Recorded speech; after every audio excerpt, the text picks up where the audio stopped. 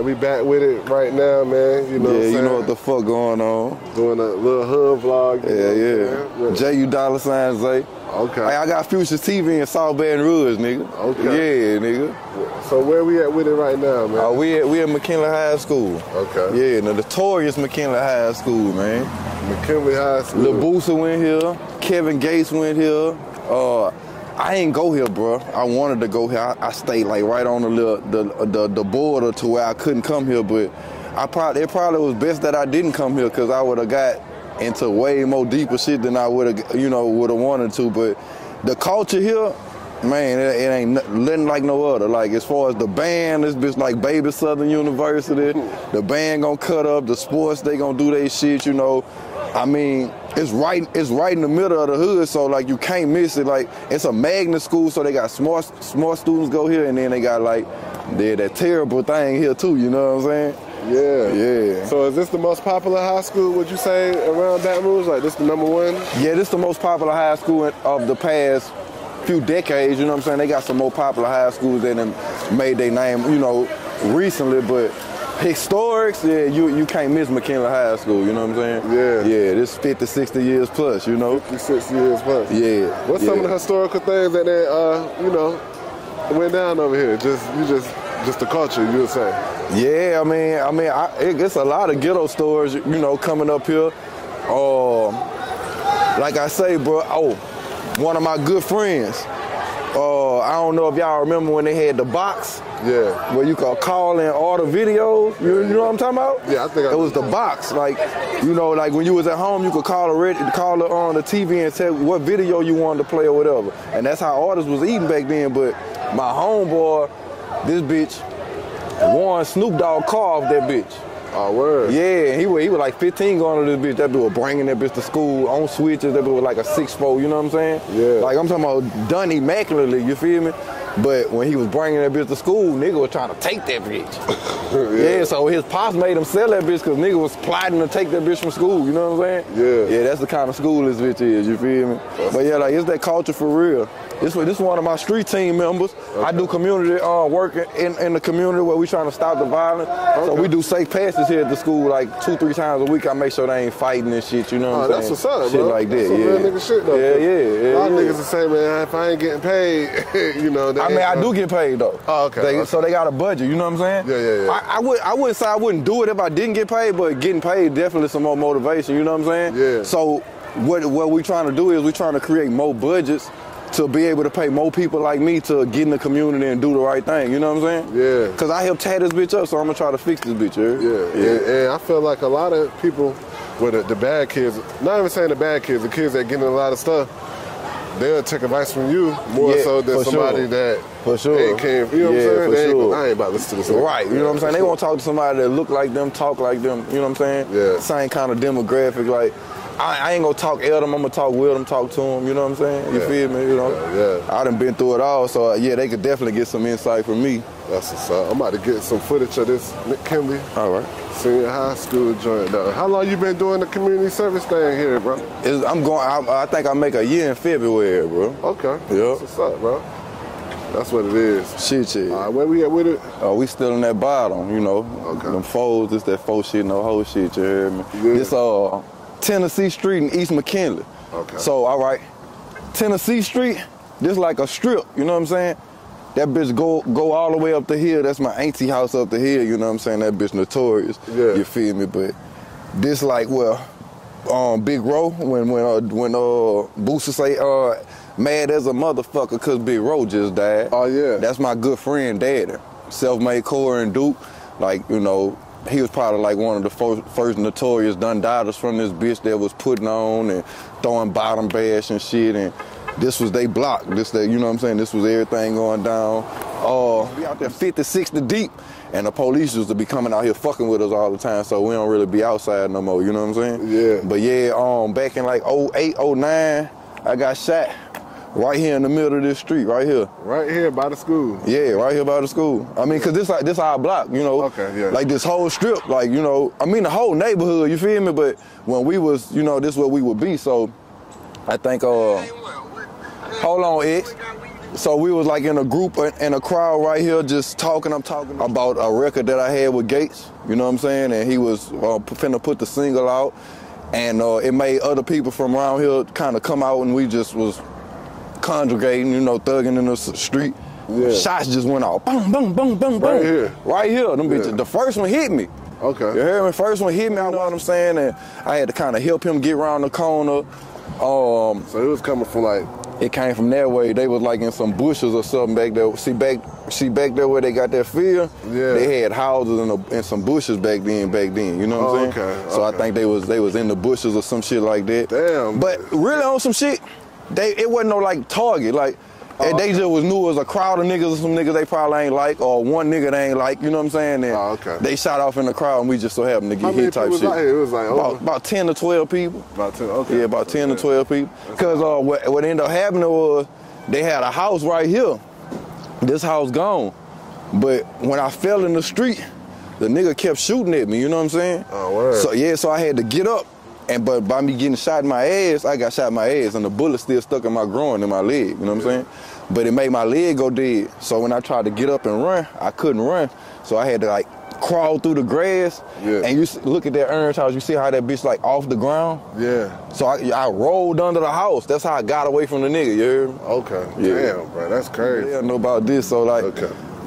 Oh, uh, Wiener Schnitzel, this like a, a, a South Side hood, you know, cornerstone. You know what I'm saying? Like, Okay. nigga, when we ain't have no like no money to like really eat or you know get something, nigga, you could walk the Wiener Schnitzel right here and get you a, a chili dog special, two two chili dogs and a fry for two fifty with a drink.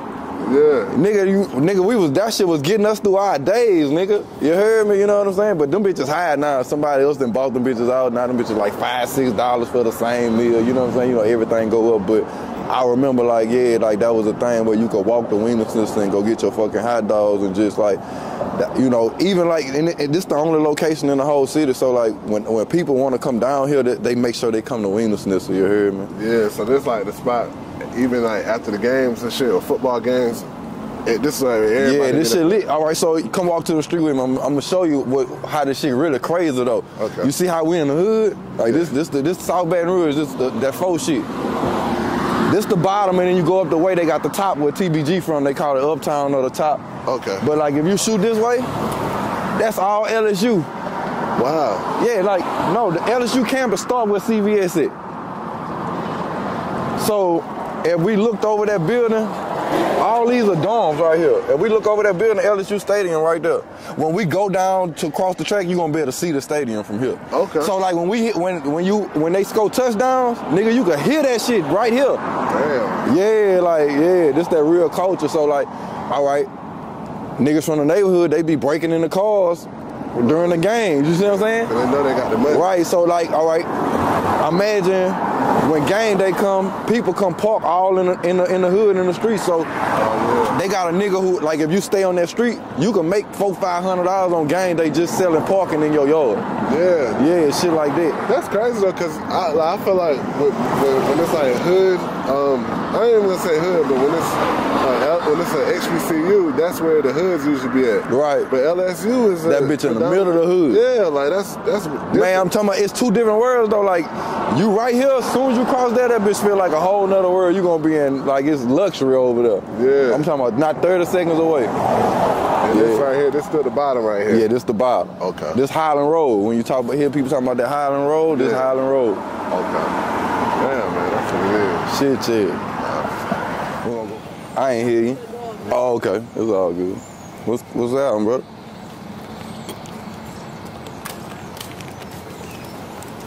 What's going on?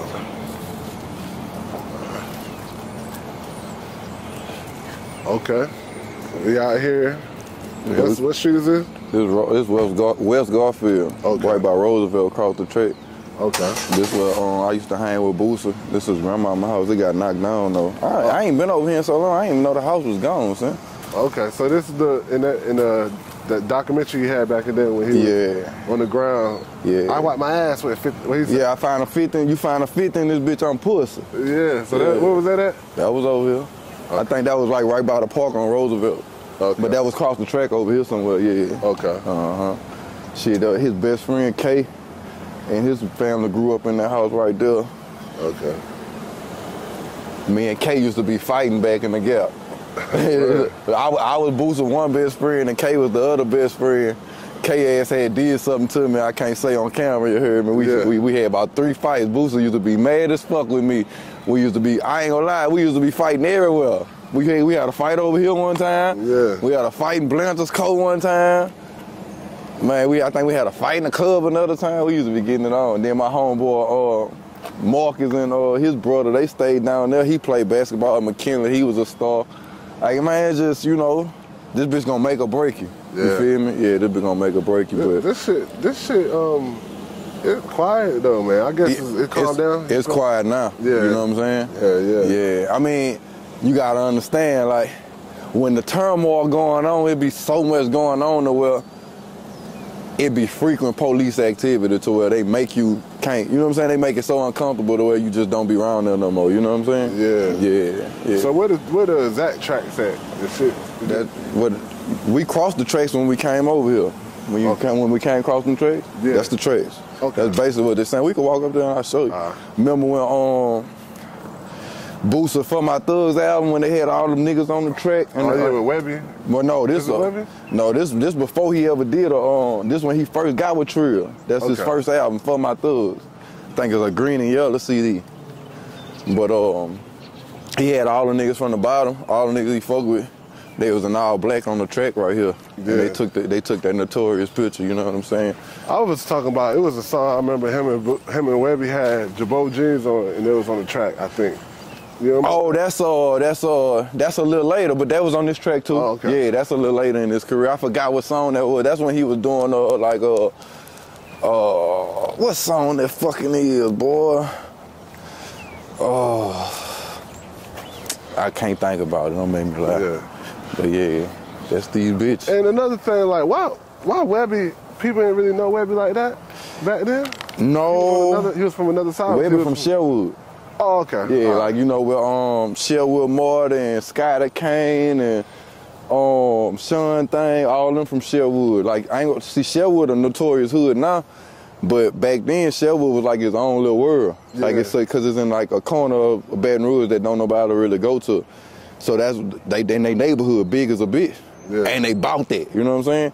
But they ain't really start making no noise until like about 2000, late 2010, you know what I'm saying? Mm-hmm. Yeah, that's when they started to make their noise. But Webbie was the first one to like really blow from Sherwood, you know what I'm saying? And he put, I, I think, I, I think you could give Webbie credit for putting Sherwood on the map. yeah. Yeah, for sure. Cause I remember back in the day, he was like he was the nigga that I was like, yo, he he the one. But Oh, yeah. niggas is like Boosie's the one. I, I couldn't see I mean, first. well, I, th- I think what they were saying was Boosie had the influence as far as like he was the real deal, authentic street Okay. nigga. Yeah. So people, you know, people gravitate to Boosie. You know what I'm saying? Boosie's just a star. You feel me? Yeah.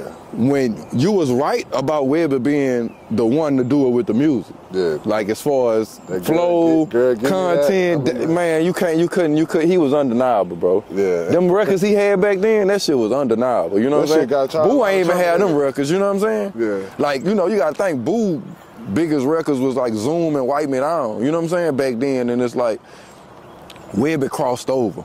Yeah. Like you know, it's hood music that he got. He he learned to deliver it in a way that the world could receive it. Yeah. You know what I'm saying? I feel like to receive bullshit, you gotta really be from that. You know what I'm saying? Webbie was painted in a way like, oh, I get it. You know what I'm saying? If you ain't been around it, you ain't gonna really feel boo on no um like nationwide level because it's gonna be so authentic and street.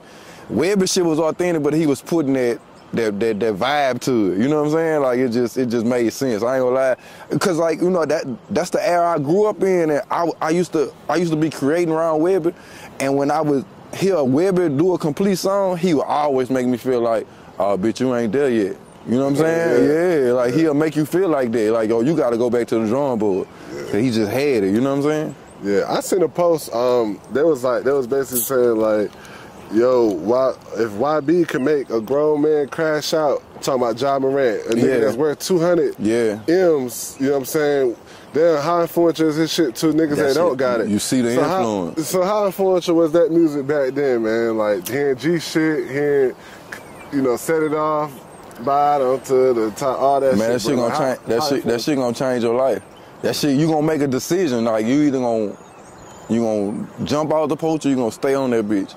But if the if the music is like influencing you that much, it's gonna make you jump out the poach. Even if you ain't that kind of nigga, like it's gonna make you go see about if you can be that kind of nigga. You know what I'm saying? Yeah. It's that intriguing. You know what I'm saying? Yeah, that's And it's crazy that it, it, it get called as glorifying it, but it's like I ain't really glorifying it, but I'm a survivor of some shit I shouldn't be surviving. So it's like I gotta talk about it, and if y'all taking it like I'm glorifying it, that's just what it is. yeah. You know what I'm saying? Uh, yeah, I'm gonna ask you one more joint. I know, um, you know the dude Hot Boy Major, right? Yeah, that's my dog. Okay, yeah, I seen him. I seen he did an interview with Real Tune. Yeah, he from the south too. He, yeah, all of us from the same section. You know what I'm saying? That's that south. You know, we ain't got nothing but stars through this bitch. We just we don't really know how to stick together. You know what I'm Yeah. saying? We got a crab in the bucket ass city. You feel me? Yeah, But I, yeah. I, I seen he he did he said something about Kevin Gates that What- went real viral. What'd he say? Back in the day, he said that uh, Kevin Gates caught a body before his uh, before he got on. It went real viral on Real Tune. I don't know. I mean, I know. Uh, I, I, I, I would guess that's possible. I mean, Uh, I wouldn't speak on nothing like that because I, I I don't know the details, and I just wouldn't even put that out there in the universe like Oh, that. yeah, I feel. But uh, what I can say is, being from Baton Rouge, yeah, you have been smacked something before you made 15 or 16. Yeah, you have been smacked something like for real. 15 to 16. Yeah, like the- these kids that I work with in high school. Yeah. Like, you know, that we trying to prevent fighting and shit, and you know, I be talking to some of them, but it's like some of them that I I could see through their soul. I know they already got one. Oh yeah. You know what I'm saying? Like I know he got one. He ain't even got to tell me he got one. I know he got one. Yeah, that's Yeah. wild. yeah. And then the teachers, the teachers don't understand why they can't, you know, get to him, or he really just going to school because he got to. Yeah. You know what I'm saying? But I, I, I see them in a different light, and, I, and I, that's why I be talking to them and letting them know, man, if you need some resources, I got you, bro. You know what I'm saying? So, uh, like for a person that's, that's like that, that's deep in it, at a young age, what's the best way, you know, to get over that? You think it's just experience? Like they gotta. I mean, you can tell a person so much. yeah. But, well, well, from what I see, it's about opportunity. If you can give a nigga an opportunity to change his life, you can give a nigga to the funds to do the shit he need to do, he won't do the shit that he was doing. Mm. You know what I'm saying? A lot of niggas just don't have the opportunity, so they just keeping up the same repetitive, you know, um, behavior type shit. You know what I'm saying? Yeah. But I feel like if I feel like if you could cut if you could cut a nigga water on or off, you can control what he's doing. Cause at the end of the day, if he that's his livelihood, you can say, man, if you keep doing that, I I, I can't keep making sure these checks come. Just like the stimulus or PPP, you know what I'm saying? Like, just look how the, the work, man, everybody fell suit with that shit. So what if the government was like, all right, we'll keep doing that if y'all don't, if, if y'all homicide rate not, if they can give all cities millions of dollars if you can keep your homo- homicide rate down, niggas will stop killing. Mm, so that's a money thing. Niggas broke. Niggas, Niggas got broke, bro. Time on their hands. Niggas broke, yeah. bro. That's it. Nick, time. Yeah. I had the time, the devil playground. Yeah. You feel me? All right, we're gonna go see. G. This is the Boulevard. You know, you ever heard of Boulevard Mill? Yeah. Yeah, this is where he from. This the Boulevard quick and all that. Boulevard quick. See all this? Nigga, this the Boulevard for real. how, how how many? Look, come back around this way. See, see like one off them side streets. Back in the gap, if you go if you go in one of them cuts, nigga, man, all the niggas on the boulevard will be coming out that bitch 40, 50 deep, all out ditches, catching sales, you know. I ain't gonna lie, this bitch was like the closest thing to like like Rayful Edmond in DC when they had that strip. Yeah. Yeah, this bitch was like this at one time. So how you long go- is the Boulevard joint? Like, is it like five minutes to? Man, this bitch go all the way down to where I got shot at. Oh, okay. You know what I'm saying? But when you cross, but when you cross Washington, it, it becomes the boulevard. Yeah. It's not the boulevard in the bottom. it- It's just the boulevard up here. So all right, this the boulevard, and then everything this way and up that way is the top. It's, Okay. it's, it's the it's the it's the top of South Baton Rouge, what they call Uptown. So I, I we was on the bottom, and then we went across the track. Now we on the boulevard going up. Okay. You see what I'm saying? Cause look, it's uptown because uptown this way, downtown where the state capitol. Look, you can see the state capitol. Okay. You see the top of that shit at the top of this house? Yeah. That's the state capitol. So that's downtown. So you downtown and you go up the way you uptown. Okay. That's why they call it that. And you know, we we came up on that cash money shit. So when when Cash Money was screaming uptown, everybody from the top, we was rock, rocking throwbacks and shit. We want, you know, we wanted to be like them. So we we always called the um, the top of South Baton Rouge the top. That's where TBG Gorilla come from, Top Boy Gorilla. Yeah. I used to be with Av and them. We, we all of them started that shit. You know what I'm saying? I think this what G um, mural was. I don't know if it got towed down or the uh, the city made them take it down or something. Yeah. But yeah, you can see the in, in memory of G right here. In memory of G. It was a big ass. You know what I'm saying? Yeah. Yeah. So, you know, why you feel like like why was that Gee Money situation so big in the city though? Like you, I mean, cause every, when everybody I've been going on documentaries, everybody bring up the Gee Money situation. I mean, G You know, especially in Louisiana hip hop. I mean, Baton Rouge hip hop it was just an unfortunate situation. You know, G was really talented. G was a good nigga, good spirit. So you ran into him? I knew G. G was my dog. G was my dog. Like, I just, I hate that about us. Like, because I know a nigga, we all we be at the studio together and we like, we gonna, we gonna come back and do the song. Never go back and do it. You know what I'm saying? Yeah. Or it's like because you know a nigga so well, you be putting him off on the burner. Like, we, uh, that shit gonna get done, but you'll go run and get another feature done. You know what I'm saying? I feel like I did that, and I feel like I missed buku opportunities to get music done with G. Yeah. Just because we just was on some nonchalant shit, like it's gonna get done and then didn't get done type shit. You know what I'm saying? But we, I used to be in the studio with him all the time, just not recording. We be in that bitch shooting the shit, talking, smoking, doing what we doing. You know what I'm saying? Yeah. How, what was the city like? Do you remember like back then when, when that situation happened? Like, do you remember how the city was? Like, City was tore up behind G getting killed. You know what I'm saying? Yeah. You know, like it was really unfortunate, bro. I, I feel like we all felt like it ain't have to be that serious. You know what I'm saying? But you you can't you can't case what other people going through and like why something is as serious as it is. But mm-hmm. I like for my city, I don't like to see nobody at odds and like killing each other or whatever it may be. I feel like all that shit could be ironed out at some point. As long as it ain't no blood spill before the blood spill, Yeah. that shit could be taken care you of. don't think was nobody that was that could be in between them and you know make them come together? I believe I, together, I believe I though. believe it's always some niggas involved that can smooth it out. I just feel like niggas just don't do it. You know what I'm saying? I, I feel like sometimes niggas just be having like the wrong influence in their ear. You know, like they might have a positive influence in their ear, but the wrong influence is what's getting to them. You know what I'm saying? Oh, yeah. I feel like, cause I, I know niggas listen to me, right? Mm-hmm. Like I got I got an influence and a perspective. But if I could tell you do the right thing, do the right thing, and then you go around the corner and go with such whatchamacallit, and he tell you do something, or you know, be trying to get you to fuck with something, and you fuck with that, it's like, you know what I'm saying? Yeah. But I'm trying to get my whole city to understand, like, bro, it's up to us, bro. Like, man, if you see me out here like trying to give back, fucking with the community, like trying to stop gun violence, I ain't saying, I ain't saying don't be no street nigga, don't thug. I ain't saying don't sell drugs, don't be a criminal, like. But I'm talking about the killing, like. I mean, if you got a disagreement, why we can't just have a fist fight? You beat me up, I beat you up, we both go home. Yeah. I'm saying with them guns involved, that should be going left. I, like I told you, I do this um the um crime the um gun violence intervention out here. So I get I gotta get dispatched to murders and shit. I just got dispatched to a murder right here three days, three, four days ago before I left to go to Houston. A 56 year old nigga got smacked with that bitch. So and I believe some youngster smacked him with that bitch. He on some shit like he trying to come home from jail and tip shit. Like, oh, I'm extorting niggas, or y- y'all need to be scared of me. Ain't nobody scared of you out here. Them little youngsters came and flipped you in the rain. Damn, bro. You know what I'm saying? Just came home. 50, 56, just come home, you still thugging, you know what I'm saying? Yeah. So that's what I'm trying to say. Like, if we got niggas that old still with the same mentality, man, we got to do something different out here. You know what I'm Yeah, you just did time. How long? How long was he? He was locked up for? I don't know how long he was locked up, but I, I know he was going back and forth type shit. You know what I'm saying? Alright, that's a bet. That's a bet. man. Alright. Yeah, but this that Boulevard, bro. Yeah.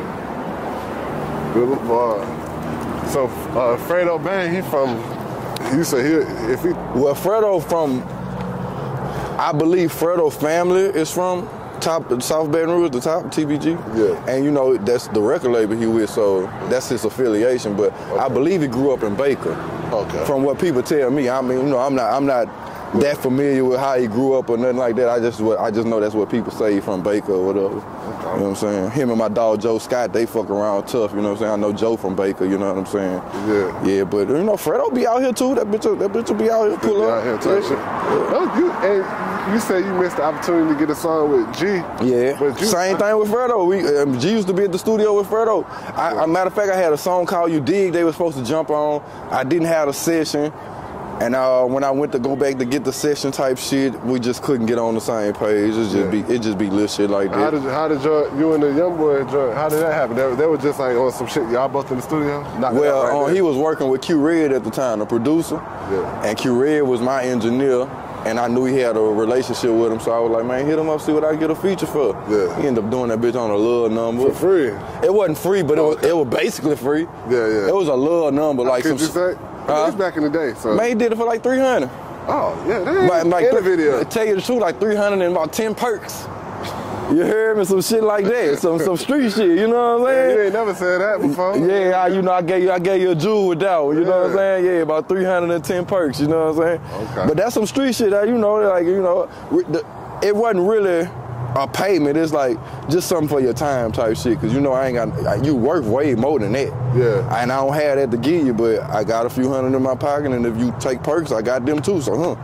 Yeah. You see what I'm saying? And then I think I told on another um, thing, like when he took the perks, I think he had took too many. Them bitches had then went to fucking up his stomach. He couldn't even record. I had to go get him some milk and shake him back. Oh, right. Yeah, because, you know, he was young at the time. He might have probably about 17, 18. Yeah. And you know, them was shit, them real deal perks, them bitches be on you. So he was like, not over there, not feeling good. I'm like, I'm finna go get you some milk. He ain't believe the milk was gonna shake him back. That nigga drunk that milk, that nigga up.